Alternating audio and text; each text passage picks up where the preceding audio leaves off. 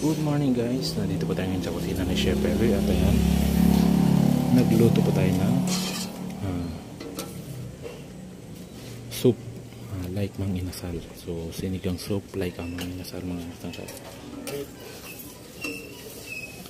So yan, yung ingredients po natin dyan syempre yung pinaghugasan ng rice natin na niluto. Ito po yun, tapos pinakuluan natin.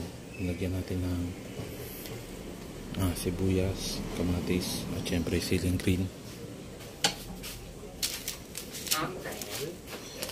At syempre tinimplahan natin yung mga kasangkap na sinigang sa Sampalo original mix.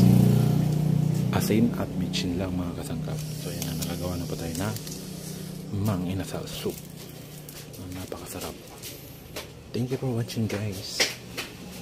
Ito na yung ating chicken inasal.